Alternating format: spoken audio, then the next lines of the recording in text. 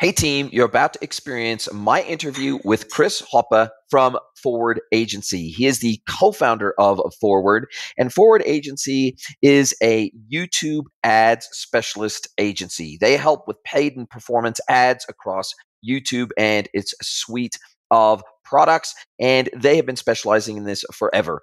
And we had a deep and fantastic conversation about what we believe is the overlooking of the power of YouTube by many B2B brands. We talked a lot about YouTube ads more generally as well across D2C and B2C, but we really, really dug deep on why we think it is that B2B brands are missing a trick with YouTube ads and how they can rectify that and how they can leverage this super powerful channel to help grow their B2B e commerce business. Hope you enjoy. Welcome to B2B Commerce Corner. Commerce Corner is a sub series of the e commerce edge podcast discussing all things B2B commerce through the lens of agencies, consultants, merchants, and more. Enjoy.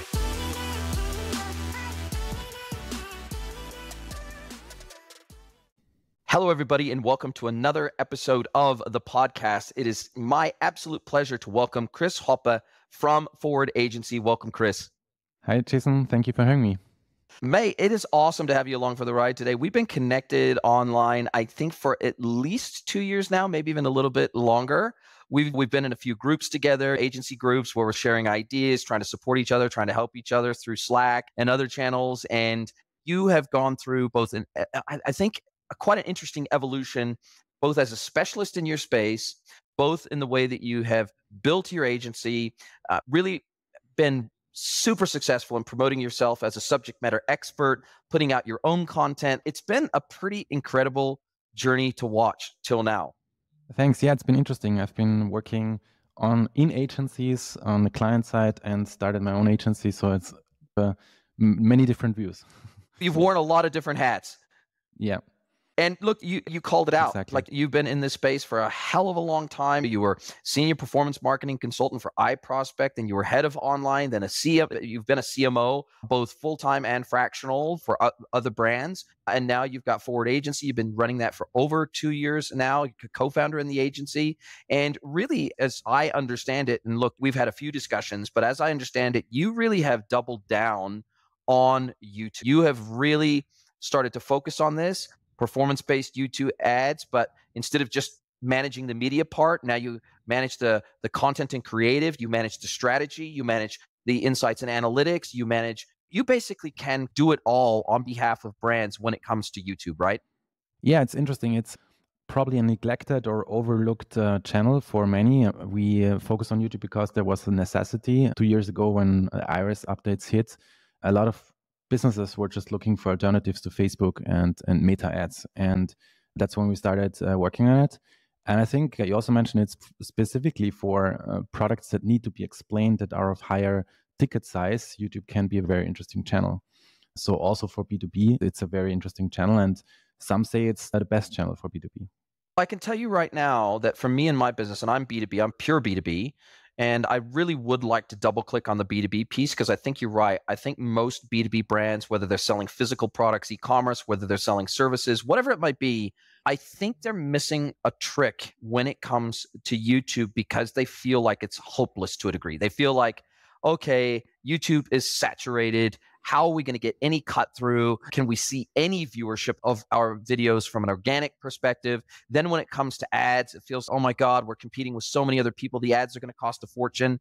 And for me personally, I don't do any paid ads on YouTube. I have historically in the past, but I don't currently. And I would say that although it is hard and it's certainly not as easy to get visibility on YouTube as other channels, the ROI off of YouTube can be astronomical. And specifically for shorts, at least yeah. in my experience so far, I'm getting anywhere from 10 to 50x the viewership on my shorts as I am on my long form videos. And by using something like Opus Clip or some other short video maker, I can automate the production of those clips. And all I've got to do is basically SEO them and, and upload them and put the proper links in the description, etc. But I, get the sense that it's the number two search engine in the world, YouTube is after Google. Exactly. So the reality is that they get the exactly. traffic, they get the viewership. Everybody's going there to watch everything from yeah. recreational videos to how to videos to product review videos to everything you could imagine. They're leveraging YouTube. I stream YouTube almost every single night to my Chromecast yeah. and watch it on my big screen TV. Yeah. And the reality is that YouTube. I think, is perhaps overlooked because building a channel that can scale on YouTube is hard. It's very hard. If your primary business is not being a media channel, then you really need to either have a massive focus and investment on that channel or you need help. You need a partner. You need an agency to give you a hand. Yeah. And especially an agency that understands yeah. the algo, understands how to optimize for the channel, and understands how to run efficient ads against that channel. Man, that is a skill set that most brands just do not have in house. They might have a media buyer in house. They might have a meta specialist in house. They might even have a Google ad specialist in house, but very rarely do they have a YouTube specialist in house. Yeah, is very different than other channels also, but there's a lot of powerful elements on, on YouTube. You have the possibility to still have long form content, right? Which is different. You have 90%, 95% have sound on. You have the opportunity to really get a lot of information and value in a video, in a long form video. You can supplement it with shorts, but you can also put a lot into videos. If you run ads, you need, really need to structure the ads properly and there there are differences to other channels. So I see a lot of brands that think, okay, I can just take my TV commercial or my Facebook ad or whatever, put it on YouTube, and it will work and it will not work because it's a different platform. It works differently. You can talk about everything, how to structure the creative. One thing you mentioned is interesting because you said it's hard to scale a channel. That's really right. But as mentioned, it's the second largest search engine, and the largest search engine is Google. So basically, you have the two players combined. And the question is like, how relevant is it, right? If you have highly relevant content, you maybe don't need to scale extraordinary and then have you can't compare yourself with a youtube influencer that speaks to mainstream beauty mainstream fashion or something like this maybe you have really a very smaller audience but you can have very highly targeted content so it's not only about the masses but also the relevancy and the trust that you can build on youtube right is enormous with all the content and you can really show your expertise here and I think it's also really important to have it be part of a broader media play full stop. I think the most successful yeah. product brands in the world, whether they are a manufacturer, a wholesaler, distributor, retailer, almost doesn't matter. The reality is they have to see themselves as a media company, at least to a degree. And the reality is, yeah. whenever somebody Googles my name now, just Jason Greenwood, for example, I'm all over Google. I'm on every single channel. I'm, I'm, on YouTube. I'm on Facebook. I'm on TikTok. I'm everywhere. And then, of course, I've got my own website and I've got my own long form videos. I've got my podcast. I've got everything right. And I think, I think that makes it easier for me to meet my potential customers where they are, wherever that might be. And if they've seen me or listened to me, say, for example, on the podcast, maybe they've seen me a little bit, maybe even on TikTok video, for example. Maybe they've seen me a little bit on Instagram maybe they've come to my website and then maybe they've also watched some long term long form and maybe even some short youtube videos which lead to my long form videos by that time yeah. they've had a chance to oftentimes it's so funny when i have someone approach me and say hey i think you might be able to help me out with this project i'm working on let's tee up a call then that they say they'll say i feel like i know you because I've seen some of your videos, I've heard some of your podcasts, yeah, exactly. I've seen you everywhere, yeah. I've seen some of your LinkedIn posts, and they go, "Wow, I first of all, you're exactly like you are in your social content, you're the same guy, and so that that automatically builds an element yeah. of trust. And then secondarily, they, they say, I feel like I know you. I've, I've absorbed yeah. enough of your content that I feel like I know what you're about. And uh, it's that almost constant yeah. exposure across multiple channels that that that that feels where like the exactly. gold dust of trust is created. 100% and it takes time right? It's this demand generation. People get to know you. They start following you more and more see more and more of your content. And at some point it's just i think you also got these messages right? But clients say i've been following you for a while right? It's not like i've seen your video yesterday or something. It's been like it's building up over time. So uh, investing in the organic content is something it's very hard because you never know. You don't see the results tomorrow you have to do it for a really long time and at some point you're going to harvest but it's taking time effort and you need to trust the process and of your customer base if we were to break it down into percentages, roughly what percentage would you say, for example, maybe a retail e commerce business versus a B2B brand that's either selling products or services? What would be your split today of your customer base, just as a guess? Yeah, probably 20% B2B, or at least customers that also have a significant B2B portion. Yeah, so it's interesting. And you can also take all this, no matter if it's products or services. Yeah, I would say what is very special about YouTube is that usually on, on meta ads, you have very short attention spans and very short time frames, TikTok even shorter. And YouTube, you really have the chance to put a whole landing page, everything that you usually would put on your website, you can put into a video, right? So if you structure it correctly, you really have a lot of potential to explain products that usually you don't understand immediately, you don't see the value immediately, and really also target customers specifically with the creative. It's interesting because the intention usually is, especially in the B2C space, you want to grab attention. Actually, the strategy that we focus on is often that you want to make the wrong customers or the people that are not your ideal customer audience, you want to actually skip the ad. So when you run skippable ads, you actually want to filter with the creative already target specific audience and the algorithm will show your creative more to people that actually are interested in your products. So it's a bit counterintuitive because a lot of the especially specifically b2c uh, content goes into just want to grab attention be very also clickbaity and it's actually quite the opposite to really make it work and what percentage first of all i guess my first question is do you also help your mm-hmm. clients with their organic youtube strategy or strictly with their paid and performance basically ad based youtube strategy do you both you can really uh, supplement the organic strategy very well with ads one thing that anyone who is listening can already do themselves is just enabling that you build audiences who already engage with your content and push that into Google Ads. That's something that you cannot do backwards. And if you start running your channel and building your channel, you will be very sad if you hadn't done that earlier. So I would really recommend that to doing that. And when you do that, what you can do, is what you just said, is people need multiple touch points. So what you can start doing without necessarily investing a lot of budget, we're speaking about like $10 a day, right? You can invest into ads that show up in the YouTube uh, feed. So, for example, people who already engage with one piece of your content, they might not necessarily see immediately a second piece of content, but you can retarget these customers. And when they scroll through YouTube, you can show them suddenly different videos of your organic videos, right, of your channel. So the likelihood that they will subscribe and follow more and see more of your content is much, much higher without investing necessarily now into broad advertising and increasing your top line. So this is really very simple and just helps. It's I always say it's like putting oil into the fire and making your organic content grow faster.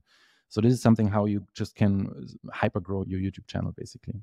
And what percentage of your clients, again, just off the top of your head, do you see not wanting to execute on an organic YouTube strategy of any kind and purely wanting to run an ad campaign on YouTube that then, for example, links out to their website or it links out to a, a landing page or it links out to anything other than another piece of content on YouTube or it doesn't even cross link to a, a piece of organic content on YouTube. Do you see that being very common or do you see most of your clients running both an organic strategy and a, a, paid strategy? Probably I'm a bit biased here because we work mostly with clients that want to grow fast. So they run ads. I would say probably half of them don't have any organic content or not really proper organic content. So they don't have any content strategy for the channel.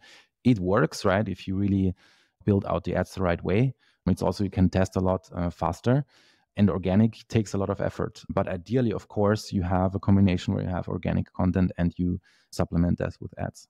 And how much effort does it usually take from your team when you're starting to both put together the paid ad strategy, but you're also starting to think about the creative? Obviously, if these brands aren't really used to creating video mm-hmm. content, mm. if they're not used to creating yeah. compelling content, or at least they're not used to testing and iterating to make their content more compelling, I'm guessing that usually requires a lot more input from your team to give them guidance and pull collateral out of their business so that you can help them create this very attractive, magnetic, ad based content. Obviously, if you're working with a creator and they're already used to creating some good content, but they don't really know how to mm-hmm. maximize the value of paid ads mm-hmm. on YouTube, they might come to you. But yeah. by definition, that means you're going to have a lot more collateral to pull from and work with and at least like even their tone of voice and their style and all those mm. things you're gonna you're gonna have access to that but if you're working mm. with a brand that you've never really heard of before or worked with before and they don't really have a lot of organic mm. content out there I'm guessing that the onboarding process will take significantly longer because you've got to figure out what they're about. You got to figure out what tone they want to speak with into the market. You want to figure out what their UVPs are. Like yeah. it, it's just much more effort, right?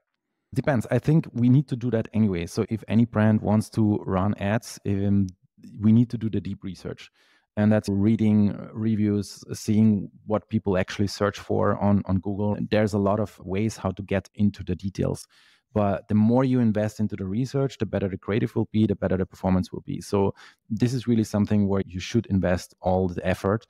In terms of production and yeah, uh, the um, tone of voice, it's actually interesting that you mentioned it because we've done productions for 2000 and we've done productions for 50,000, which basically the same script. And uh, interestingly, the productions for 2000 is much cheaper, performs much better despite being much cheaper. So necessarily the production doesn't need to be super complicated. And sometimes it's just a creator, right? It's or even a stock footage with AI voiceover. We have brands that spend several hundred thousand on such creatives and they're still the best performing creatives, while super great detailed production didn't perform as well. So in terms of production, of course, you need to somehow be within the brand guidelines, but a lot can be achieved uh, with very minimal effort that's good news to hear because again i'm not the expert on this you are and yeah. and man that's why i love to get people like you on the pod because i can't be an expert in everything and that's why i love to to bring in subject matter experts like yourself especially on these areas that i, I see as being massively untapped opportunities because businesses are just maybe they're intimidated by it it's almost like I see a lot of brands not wanting to list on Amazon because Amazon feels intimidating. It feels hard to get listed. It feels hard to manage your listings. It feels hard to get your products into FBA. It feels it's just everything about it, and it feels like they're a threat. It feels it feels like Amazon is a terrific threat to most e-commerce businesses, and so they just don't want to touch it because it feels impossible. And it feels like if you do one thing wrong, if you miss a shipment, and you know you've guaranteed second day delivery, and then arrives three days later, then you get whacked way down the list. And I feel people almost approach YouTube in the same kind of way. They're almost sure. terrified of it to a degree. They don't want to break the rules. They don't want to get their, they don't want to have their channel banned. They don't want to have, they're, they're just really cautious about how they engage with the YouTube as a channel. And yeah. I especially see that reticence in the B2B world. And I'm really trying to orientate this conversation mostly towards those B2B brands, mainly because I, I think most B2C and D2C brands better recognize the channel opportunity that YouTube represents full stop. Whereas and, and maybe they're not executing on it and maybe they don't have the budget for it today, but they mm. recognize it and they realize that it's an opportunity. Mm. But from in the B2B world, especially the B2B e-commerce world, I'm not well certainly not a single one of my clients has that I'm aware of has either an organic YouTube strategy nor a paid and performance YouTube strategy. And I don't know why that yeah. is. In the B2B world, they will still usually understand that their clients, even if they're B2B clients, exist not just on LinkedIn, that they potentially exist on Meta, that they potentially exist on Google searches, etc. And so that so they feel like those are natural places. If they're going to do digital marketing of any kind, they use those more traditional digital marketing channels. But I feel like the YouTube opportunity is perhaps missed even more by B2B brands than it is by B2C and D2C brands. And your customer split feels like uh, it would validate that that understanding I have by working with so many B2B brands.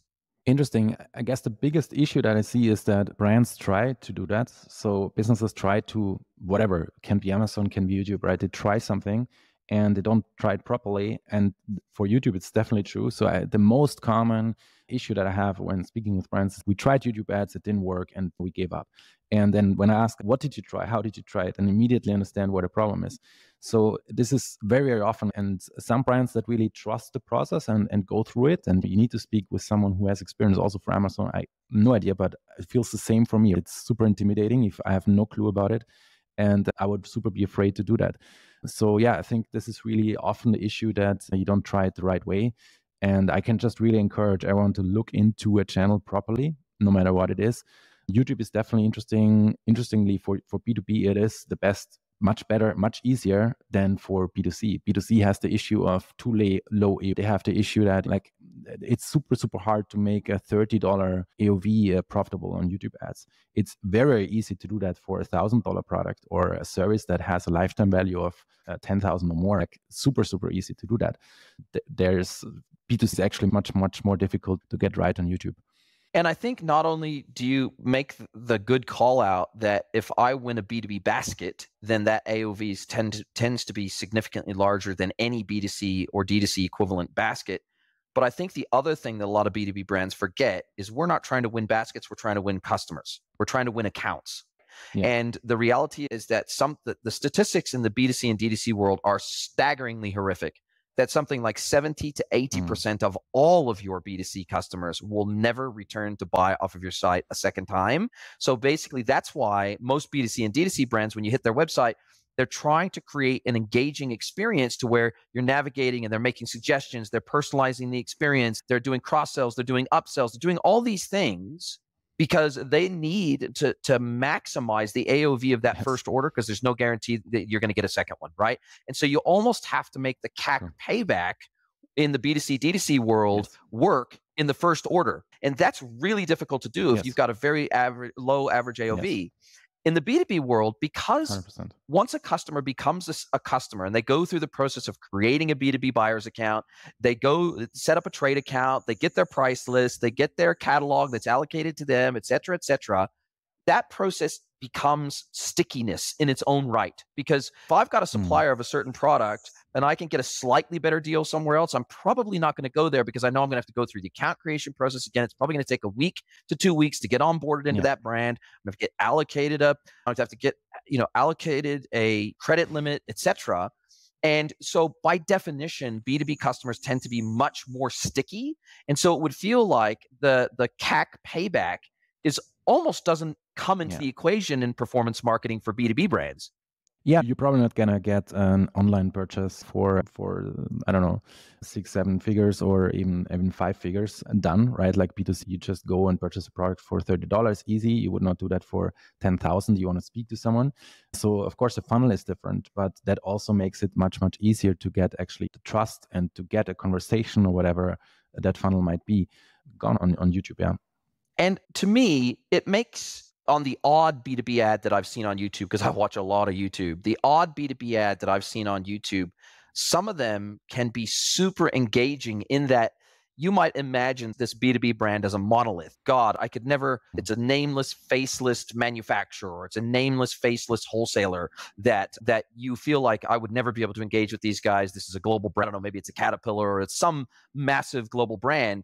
able to engage with these guys. This is a global brand. I don't know, maybe it's a Caterpillar or it's some massive global brand but it almost feels like YouTube ads can make those brands feel more human, feel make them feel more organic, yes. make them feel more natural, make them feel yes. more approachable. And even if it's just something as simple as showing a guy on a factory floor walking through one step of the manufacturing process or maybe it's the QA testing process at the end, seeing behind the scenes it always feels that some of those behind the scenes video ads, I'm like, wow, that's how they do that. That's freaking amazing. That is super cool. And then if that leads to a landing page with maybe a full length video and maybe a application form to sign up as a client of, of that uh, brand or that manufacturer, it, it just, it, it, oh, it, it's, it's actually hard for me to articulate exactly what that does to me, but it just makes the brand feel more human. Let's put it that way.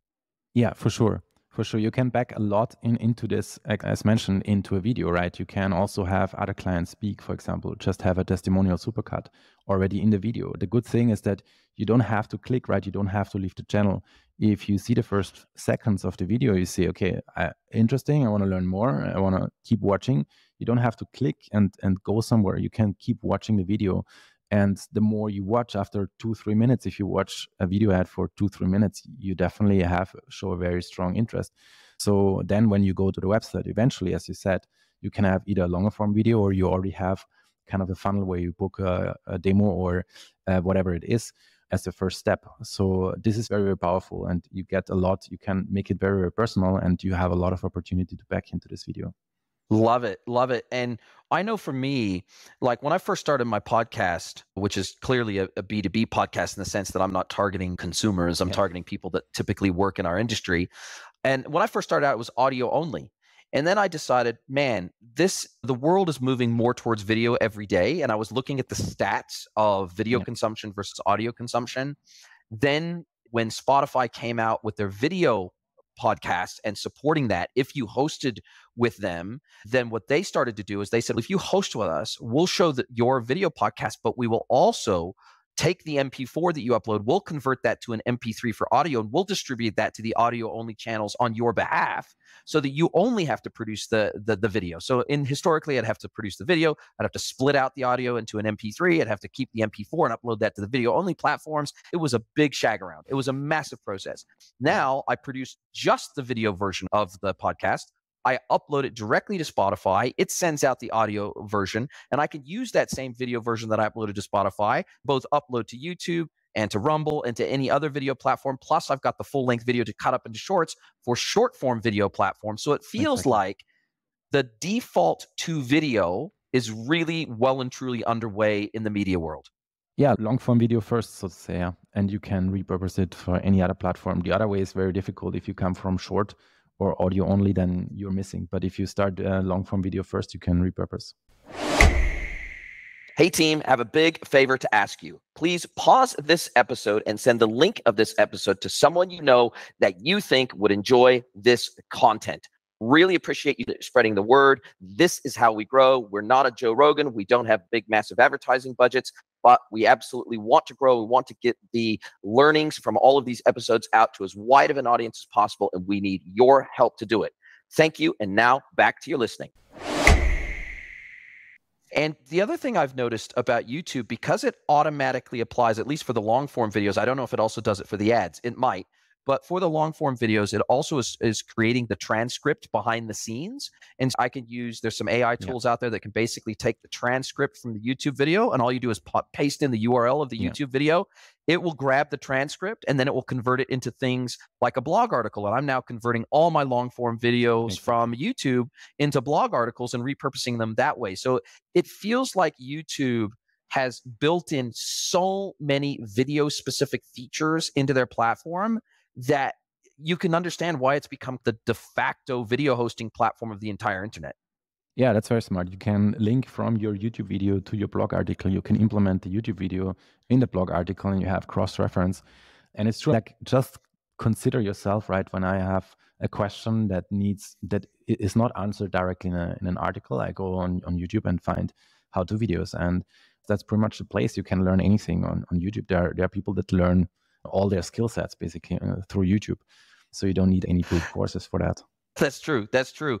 And what if somebody's seriously considering, let's say specifically from the B2B world, I don't know, let's say they're a manufacturer, a distributor of a product, they're a $20 million a year business. They've got maybe they've got 100 B2B customers today, but they want to really become dominant in their vertical, in their space. They want to become more well known. They want to be part of the top of the consideration funnel anytime somebody is searching for their product or brand apart from coming and working with someone like you, which I would always advocate working with a professional, especially when you start out, it's almost like learning a sport or it's almost like learning a new instrument yeah. or whatever. Sure, you could probably go and watch some YouTube videos on how to play the guitar, but probably if you go one on one and you have a, a, a, teacher, a guitar teacher, you're probably going to learn that a little bit faster than what you would from a YouTube tutorial. And so I always advocate that people, especially when they're trying out a new channel for the first time, that they at least get some guidance from an expert at the start and even if they ultimately decide to take that skill in house, at least they're starting off with a good foundation instead of making an absolute self, like you said. What we don't want is people doing it wrong from day one and it becoming a self fulfilling prophecy that it doesn't work and then they're turned off to the channel forever, right? Let's yeah. try it with an expert first. Exactly, yeah. Let's see if it actually works. And then let's see if it's worthy of further internal investment beyond that. But if somebody's just considering YouTube for the first time, what are the kind of tips that you would give to someone and say okay this is how you can make a bit of a business case. This is these are the things you should prepare in advance. These are the things you need to start thinking about. Where would you advise a, a b2b brand to start before they've ever run their first ad? Yeah uh, as you said focus on doing it right and it's we've been at the same place right? I've worked at the d2c brand built a whole d2c there and we had to find another channel. We looked at youtube and we were thinking okay we can now go with this course an agency which cost that cost us 18000 just to get the high ticket course to find out how to do it or we can try to replicate it from their free content and stuff. And we said no we're just going to save time and money and we basically went with them and learned a lot and tried to model it. And it really saved us because otherwise we would have completely messed it up. But really get it right. The, the most important is really to stru- to know what you're doing, to structure the video in a way that that works. So uh, the biggest issue that I see, even brands that we've been working with and they try now to write their own scripts, is when I look at the scripts, I immediately see, okay, why they will not perform. So you need to really get the structure of the video right. It's probably the most key for being successful on YouTube. So really getting it right, investing a lot into the research, know how to structure the script, and that's the most important. Anything in the production doesn't really matter. If you have if you just record a video yourself in front of showing your screen or whatever browsing through your own website it still works if, if the structure of the video is right. So this, this is the key element. The beautiful thing because you mentioned it along the customer journey right? If someone wants to own youtube and be dominant in their space it's a very nice expression because what we talked about youtube is the second biggest search engine. So it has the data of google and also the data of youtube and you can first of all bid on your competitors. So many don't know that but basically you can bid on your competitors on youtube without them knowing that. So that means that um, if someone searches for you maybe have already decided in their head to go with your competitor you can actually suddenly appear with comparison videos why you are better than your competitor which is i think highly uh, interesting specifically for B2B. Uh, you can compare the benefits, maybe what should what you should be careful with going with this competitor. Suddenly these videos pop up and then you can actually make someone who already considered your competitor go with you. You can also appear already earlier in the decision process, right? Because nobody searches for buy this product now, they already have a, a, search history before where they first search about the problem and then maybe they understand, okay, this might be a solution. So then they search more about this solution to learn more about it. So you can really cover the whole uh, process, this the whole decision making process from awareness to consideration. Uh, and then purchase. And that's very, very powerful um, because you have the search data, which you don't have on other channels. And how important for you and the research you're doing for a client before you ever make the first iteration of creative? How important is keyword research for you in terms of what people are already searching for? In relation to your client or the vertical or category. Yeah. I know obviously when you're running Google ads, keyword research is the, the first place you start and almost the last place you finish. It's yeah. really important if you're trying to capture existing yeah. demand, you have to know what that demand is and you have to know what it's yeah. for and you have to know the terminology that people are using. Is it similar with YouTube exactly. that you're putting in a tremendous amount of keyword search research on there to make sure that it's as targeted as possible? And then also the trigger words that, and also the negative keywords that you use, you want to exclude people from seeing. Is, is that a big mm. part of the process, quite separate to the creative? honestly, I'm just going to share the, the, secrets how we do it and how we found it most effective with AI. Uh, nowadays, it's super simple. So basically, you take best is you go and take the your customer reviews and the reviews of uh, your competitors. Get maybe 100 or so if you can. Put them into ChatGPT. Let them summarize what are the biggest motivations the biggest objections, etc. Get a list of those and try to also use the words, as you said, the terminology and the words that people use when they describe your product. You might think of your product, of your service, how you think you would describe it, but try to use the customer, the, the terminology and the words that the customers use and you will immediately understand okay this is what customers love about my product my service. This is what customers love about someone else's service but these are also maybe the um, objections what they don't like so much about the competitor. So you can really get this information out. And you can cross check this right? If you have that you can go to google just paste the topic there or make it phrase as a question and then google will show people also ask for and then you suddenly have similar questions which is super powerful in terms of finding more relevant and related searches. So you don't have to be an expert. You don't have to use any tools like a Google Keywords Planner or anything to really do this. This is very simple and it will help you to write better landing pages. It will help you to create organic content because it will give you ideas what you can use, what you can talk about in your videos. And uh, you can also use that for running ads. Love it. And what how do you guys make your money? Is it based purely on the effort of creative that you have to put in or is it based on a percentage of ad spend? Like how, how do you guys structure your pricing model so that i guess most importantly so the customer feels like you've got a little bit of skin in the game somehow here? Yeah. We have different models with different customers. We went away from charging percentage of ad fee because once it scales and when it works then it becomes very expensive for Ah. the customers which is good for us but i really always focus on long term. But we also give guarantees actually. We have a 100% money back guarantee if we don't achieve certain results. Because we have so much experience in the meantime already that we know immediately when before we start working with clients if it's going to work or not. So that's also we do an audit and very often it also happens where we say hey just don't do youtube ads at the moment. Focus on something else first and then come back. It's too early or it, it doesn't work for your product because yeah but if we know that it's going to work then uh, we are pretty sure that it's going to work and have you ever worked with or have you ever considered working with creators that, for example, just want to bring, like, let's say I came to you and I said, look, I want to bring more awareness mm-hmm. to my podcast. Look, I'm not expecting any monetary, like direct monetary result. I'm not selling a widget or anything like that, but I want to grow my listenership and I want to create ads to help drive yeah. that listenership, or at least it's more top of the funnel, which is about my podcast and then putting it onto mm-hmm. someone's consideration list at least is what I would be hoping to achieve.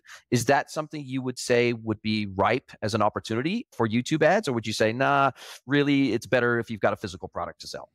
No, it works. It works for content. It works for that as well. We would always focus on performance in, in some way or another. So if it's a upper funnel, basically in the awareness goals, uh, we don't really believe, I don't really believe in this awareness goals you when you talk to google experts they will tell you hey we can do brand lift studies and people will say hey i recognize your brand 30% more than before.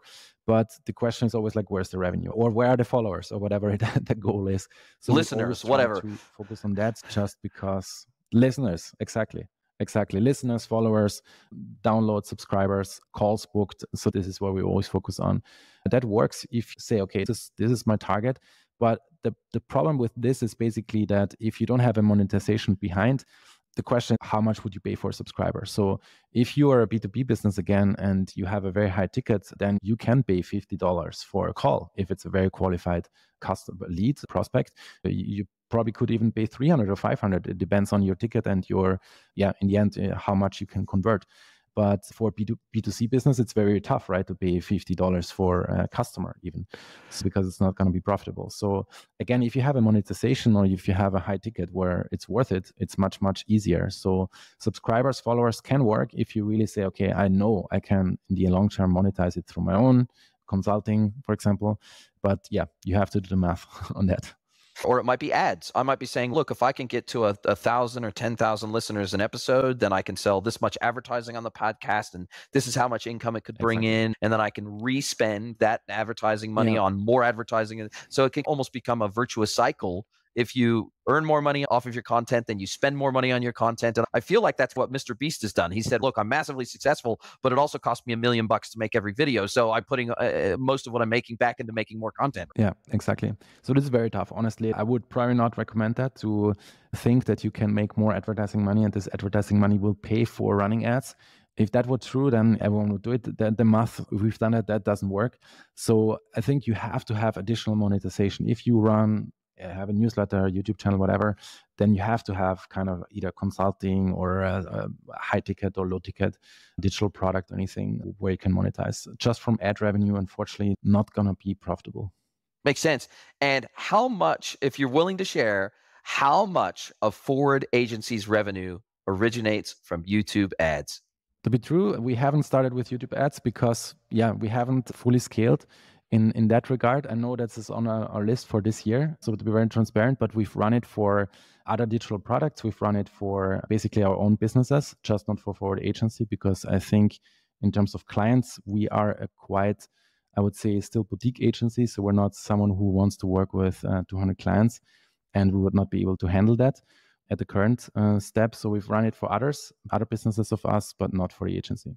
And I guess you can always turn the ads on and off. So I guess if you were super successful with your ads, then you maybe run them for a week, load yourself up on clients, and turn them back off again. Yeah. What's exciting is the opportunity for you to eat your own dog food and use yourself as your own guinea pig. I feel like that's a cool opportunity. Yeah, definitely. We've spent uh, several six figures a month for our brands that we work with.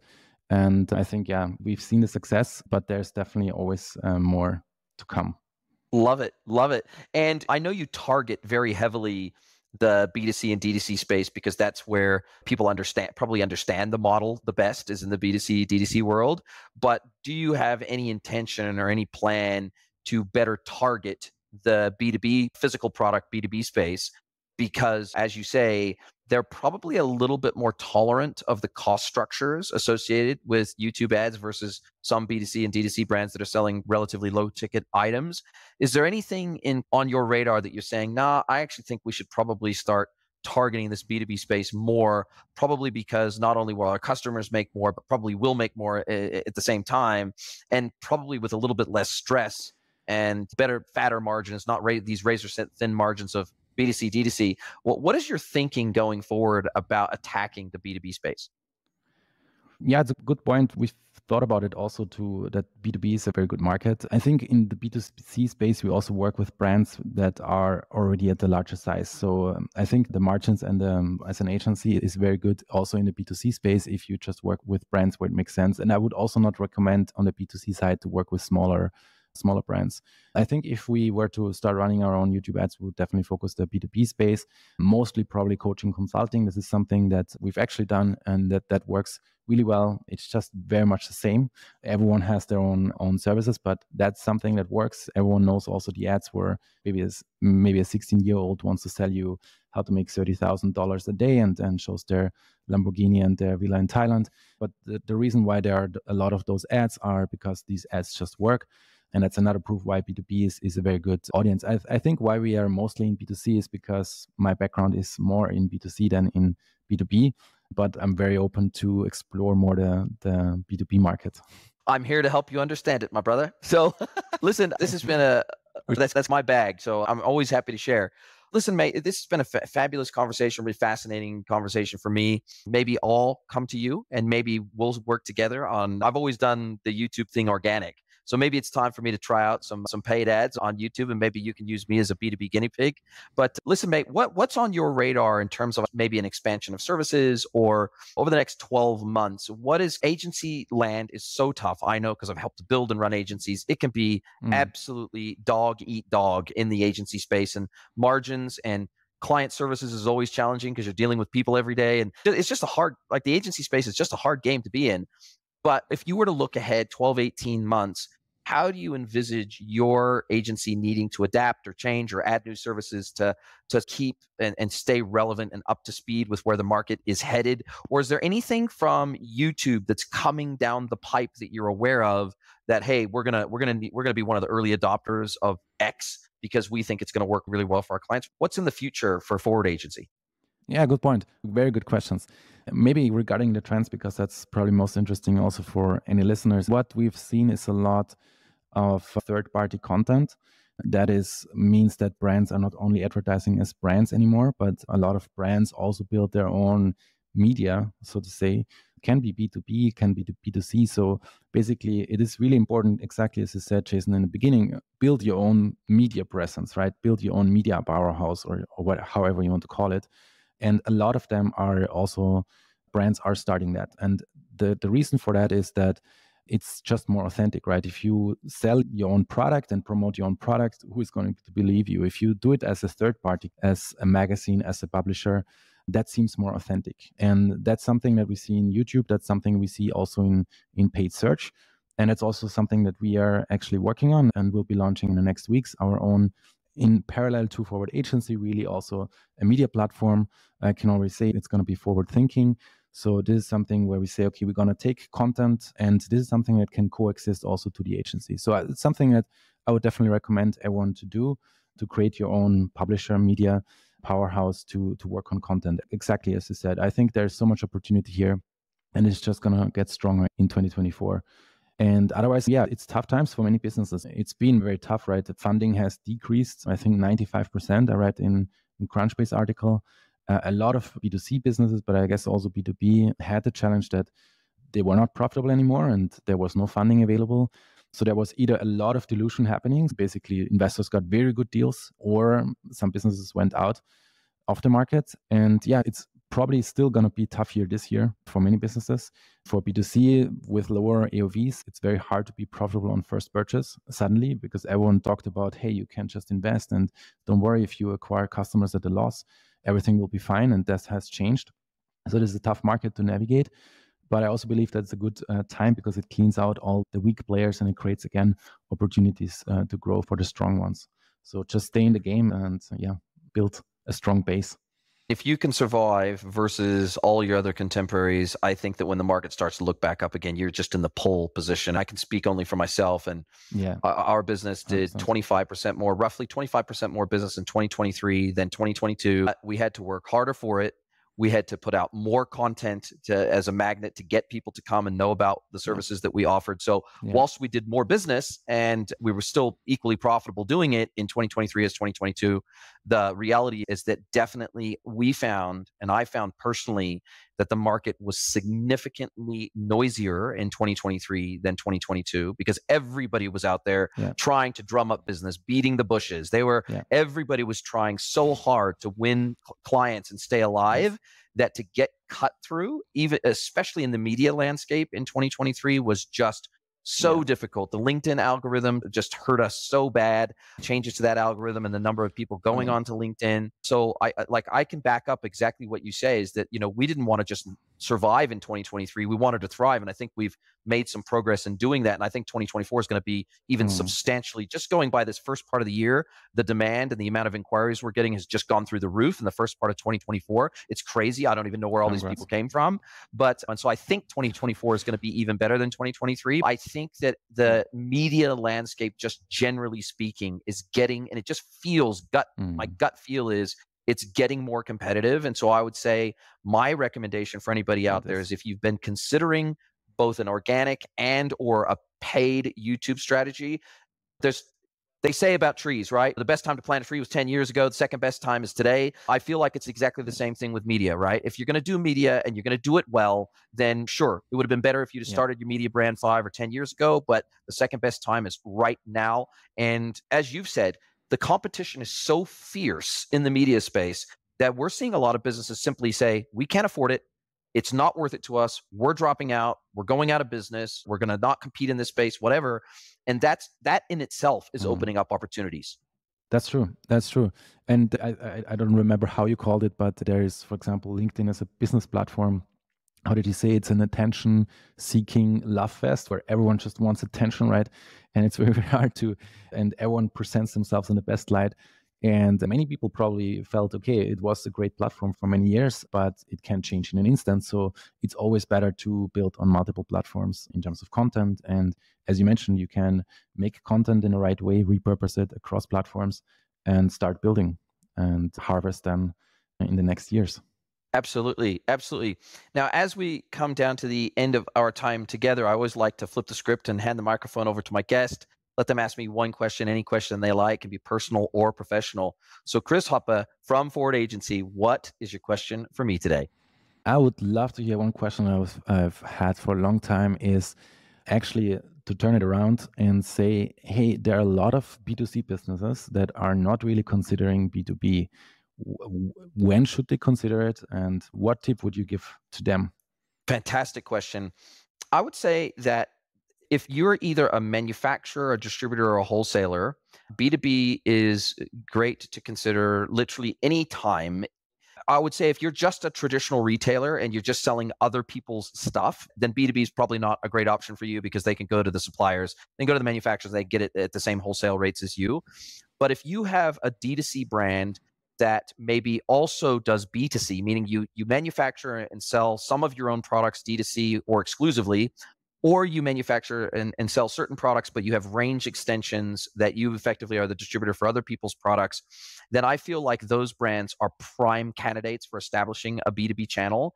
Because regardless, so, so let's say you're a D2C brand, and let's, I don't know, let's say you're a $50 million a year D2C brand. You're manufacturing your own stuff and you're selling them to the end consumer the reality is that no matter how much money you spend on paid media on organic on on social on influencers doesn't matter how much you spend there are certain customers that you will never ever be able to get in front of either because they don't buy online and we know that between 70 and 80% yeah. of all retail spend is through physical retail so either either you're not able to get those customers because you don't have a physical retail D2C store or there are certain markets where you just simply cannot be present because the cost is too high or you don't know you don't know how to break into those markets and there are entrenched retailers in those spaces that have certain catchments of customers that they can access and maybe even loyal customers to their retail brand that you will never be able to get in front of no matter how much time or energy you put into it. And i feel like that b2b opportunity it, it achieves multiple things. One it can help you achieve much better manufacturing or wholesale economies of scale. You're able to then, because when you're selling D2C, mm-hmm. you can only sell one, two, three units at a time. When you're selling B2B, now you're selling cartons, pallets, and containers. That's a totally different value prop. Mm. And, and the reality is that scale on the B2B side tends to become much more predictable than your D2C revenues. D2C revenues can be massively variable from month to month, year to year, right? And CAC can be massively yes. variable month to month, year to year, and situation to situation. Whereas in the B2B space, because your customers tend to be much more sticky and much more consistent in terms of their forward buying, etc., that becomes a much more predict. Yes, it's typically lower margin because you're selling at wholesale pricing, but you also don't have the massively high co- uh, cost of customer acquisition. So you effectively are reallocating mm. from the D2C side of the business, you're reallocating the CAC to the lower margin of the B2B side of the business. That's effectively you're trading one set of margin for the other is effectively what you're doing.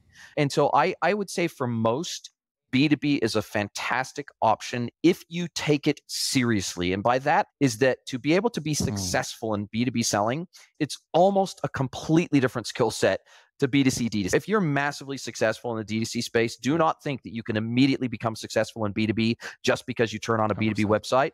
Yes, like yes. The, the whole entire exactly. uh, business model is different. And the way that you have to engage with those customers is mm. different. The type of data you have to have is different. The type of systems you have to have are different. And, and so I, I don't want to say it's easy. I don't want to make it sound like it's easy because that would be ridiculous. But I would say that for most manufacturing or wholesale brands, that, that have that opportunity to go from maybe D2C today, but adding a B2B channel with a view to say, I always tell mm. D2C brands, if you stand up a B2B site today, it would be a reasonable expectation to get to maybe 25% of total revenue being B2B within 24 months. So I, I think that's a very wow. reasonable e- expectation. Some brands do it faster, but I, that is a very Mm. Reasonable mm. expectation. If you've got if you've got even a half decent product, if you've got even a half decent range, and even if you do a half decent good job of selling B2B, you should be able to replace or in an accretive way make 25% of your total mm. revenues B2B in 24 months. That's really what you should be able to do. And so I, I think it's a massive opportunity. I think it's just too overlooked because I think, unfortunately, Crazy. B2B e commerce doesn't get the press. D2C e-commerce gets the press. Yeah. But we have seen so many D2C brands go out of business in the last 24 months. It is insane. Even the D2C poster children of the COVID era, yep. we look at Allbirds, they're about ready to go out of business. That's the reality. Without more funding, they will go out of business. 100%. And they are like a D2C poster child. And so I think that the, the, the D2C hype has well and truly the shine has come off these D2C brands because money ain't free yeah. anymore. And these D2C brands grew up during exactly. free money era. So I think they're yes. going to have to focus exactly. on B2B. That's my exactly. that's my expectation. Wow. Such an interesting uh, answer. I, I think we need to have a follow up conversation on that. That's super interesting to hear more about it. And I think one aspect to add to that is that it's also a flywheel effect, right? Because if you sell B2B, you're actually getting more customers that will also do word of mouth and referrals. And actually, there are people behind these businesses that run around with your product and use your product. So it's super, super interesting. And as you said, a very interesting uh, topic for D2C brands. Love it. And if people want to get a hold of you, mate, I'll put the link to your LinkedIn profile and to your agency website in the show notes. But if people want to reach out to you, how do you like Thanks. people to talk to you more? Yeah, LinkedIn is perfect, but any channel works. I'm pretty much on any channel. So LinkedIn is perfect, but anything. Fantastic. And do you want me to put out the e- you, what, what's your email address? People can email you, right? Yeah, it's yeah, sure. It's uh, Chris at Forwrd Agency, and uh, yeah, otherwise LinkedIn, anything. Love it. Love it. Chris, it's been fabulous speaking with you today. I super appreciate it. I'm glad we run in the same circles. You're a super cool guy. I know that you've got that you've got that awesome German sensibility where you just you're an absolute straight shooter, shooter. You wear your heart on your sleeve and I so love that about you. So really appreciate your time today and I wish you every success Thanks, with Forwrd and I can't wait to speak to you again soon. Are you a B2B or D2C e commerce merchant? Then head over to greenwoodconsulting.net to learn how we can help you scale your business.